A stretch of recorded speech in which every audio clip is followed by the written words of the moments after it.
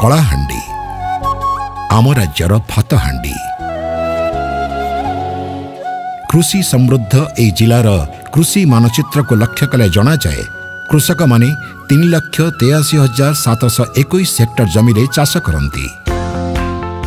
ଏଥିରେ ଦୁଇ ଲକ୍ଷ ଏକସ୍ତରୀ ହଜାର ଶହେ ଅଣଚାଳିଶ ହେକ୍ଟର ଉଚ୍ଚ ଜମି ନବେ ହଜାର ନଅଶହ ବାଷଠି ହେକ୍ଟର ମଧ୍ୟମ କିସମ ଜମି ଏବଂ ପଚସ୍ତରୀ ହଜାର ଛଅଶହ କୋଡ଼ିଏ ହେକ୍ଟର ଖାଲୁଆ ଜମି ରହିଛି କଳାହାଣ୍ଡି ଜିଲ୍ଲାର ଭୌଗୋଳିକ ଅବସ୍ଥିତି ମାଟି ଓ ଜଳବାୟୁ ବିଭିନ୍ନ ପ୍ରକାରର ଫସଲ ପାଇଁ ଅନୁକୂଳ ହୋଇଥିବା ସ୍ଥଳେ ଏଠିକାର କୃଷକମାନେ ଦୁଇ ଲକ୍ଷ ଚାରି ହଜାର ଚାରିଶହ ଅଠାବନ ହେକ୍ଟର ଜମିରେ ଧାନ ଚାଷ ଏବଂ ଏକ ଲକ୍ଷ ଅଣାଅଶୀ ହଜାର ଦୁଇଶହ ତେଷଠି ହେକ୍ଟର ଜମିରେ ଅଣଧାନ ଫସଲ କରିଥାନ୍ତି। ସାଧାରଣତଃ ଉଚ୍ଚ ଓ ମଧ୍ୟମ କିସମର ଜମିଗୁଡ଼ିକରେ ଧାନ ଚାଷ ପରିବର୍ତ୍ତେ ଅର୍ଥ କରି ଅଣଧାନ ଫସଲରେ କୃଷକମାନେ ଅଧିକ ଲାଭବାନ ହେବାର ସମ୍ଭାବନା ସୃଷ୍ଟି ହୋଇଥିବାରୁ ଖରିଫ ଋତୁରେ ଅଣଧାନ ଫସଲର କୃଷିକ୍ଷେତ୍ର ବୃଦ୍ଧି ନିମନ୍ତେ କୃଷି ଓ କୃଷକ ସଶକ୍ତିକରଣ ବିଭାଗ ତରଫରୁ ଚଳିତ ବର୍ଷ ଏକ ପାଇଲଟ ପ୍ରୋଜେକ୍ଟ ଆକାରରେ ବୃହତ ଉଠା ଜଳସେଚନ ପ୍ରକଳ୍ପ ଆୟକଟରେ ଥିବା ଉଚ୍ଚ ଓ ମଧ୍ୟମ କିସମ ଜମିରେ ଫସଲ ବିବିଧୀକରଣ ଯୋଜନାକୁ କାର୍ଯ୍ୟକାରୀ କରାଯାଇଛି ଏଥିରେ କଳାହାଣ୍ଡି ଜିଲ୍ଲାର ପାଞ୍ଚଗୋଟି ବ୍ଲକ କେସିଙ୍ଗା ନର୍ଲା କର୍ଲାମୁଣ୍ଡା ଜୟପାଟଣା ଏବଂ ଏମ୍ ରାମପୁରକୁ ଅନ୍ତର୍ଭୁକ୍ତ କରାଯାଇଥିଲା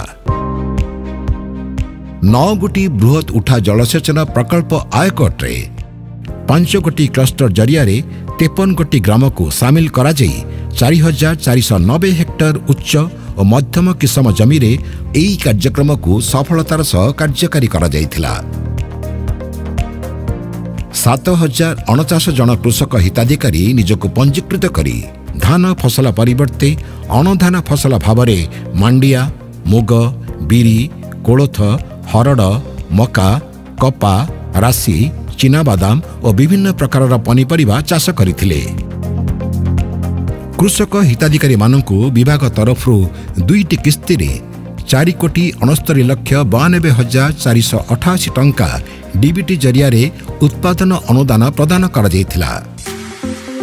କାର୍ଯ୍ୟକ୍ରମ ପରିଚାଳନା ପାଇଁ ପ୍ରତ୍ୟେକ କ୍ଲଷ୍ଟର ଅନୁଯାୟୀ ପାଞ୍ଚ ଗୋଟି ସହାୟକ ସଂସ୍ଥା ଏବଂ ପନ୍ଦର ଗୋଟି ଗୋଷ୍ଠୀ ଭିତ୍ତିକ ସଂଗଠନ କାର୍ଯ୍ୟ କରୁଛନ୍ତି। ଏହାଦ୍ୱାରା କୃଷକମାନଙ୍କୁ ସଚେତନ କରି ସେମାନଙ୍କର ଦକ୍ଷତା ବିକାଶ କରି ଧାନ ଫସଲ ପରିବର୍ତ୍ତେ ଅଣଧାନ ଅଥବା ଉଦ୍ୟାନ ଭିତ୍ତିକ ଫସଲକୁ ଆପଣେଇ ନେବାକୁ ପରାମର୍ଶ ଯୋଗାଇ ଦିଆଯାଉଛି। ସହାୟକ ସଂସ୍ଥା ଗୋଷ୍ଠୀ ଭିତ୍ତିକ ସଂଗଠନ ଅଥବା ମିଶନ ଶକ୍ତି ଅଧୀନସ୍ଥ ମହିଳା ସ୍ୱୟଂ ସହାୟିକା ଗୋଷ୍ଠୀ ଦ୍ୱାରା ବିହନ ଏବଂ ଜୈବିକ ଖତ ଯୋଗାଇ ଦିଆଯାଉଛି। କୃଷି ଉତ୍ପାଦଗୁଡ଼ିକୁ ସଠିକ୍ ମୂଲ୍ୟରେ ବିକ୍ରିବଟା ନିମନ୍ତେ ଇନାମ ଆର୍ଏମ୍ସି ହାଟ PACS Odisha millet mission Markfed ଏବଂ ମଣ୍ଡିର ବ୍ୟବସ୍ଥା କରାଯାଇଛି ଆମେ ଧାନ ଚାଷ କରୁଥିଲୁ ଆଗ ମେଘାଲି ପିଲା ଗଲା ଦିନ ପରେ ଆମେ ଏଇଟା କପା ଚାଷ କରୁଛୁଁ ଆଉ ମଣ୍ଡିନେ ରେଟ୍ ନି ହେବା ଯେ ଏଇଟା ଆମେ ଆମର ସୁଶାନ୍ତ ବାବୁ ଠାନେ କପା ବିକୁଛୁଁ କେଜି ଅଶୀ ଟଙ୍କାନେ ବିକୁଛୁଁ ଏଇଟା ଧାନ ଚାଷ କନୁ ଲାଭ ନି ହେଲା ମେଘା ଆସିଲା ଆଜ୍ଞା ମାନେ କହିଲେ ଯେ ପନିପରିବା କର ମୁଁ କୁଲୁଦ ବିରି ସବୁ ପିଆଜ ପୁଇ ସବୁ କନୁ ଭଲ ଲାଭ ମିଳିଲା।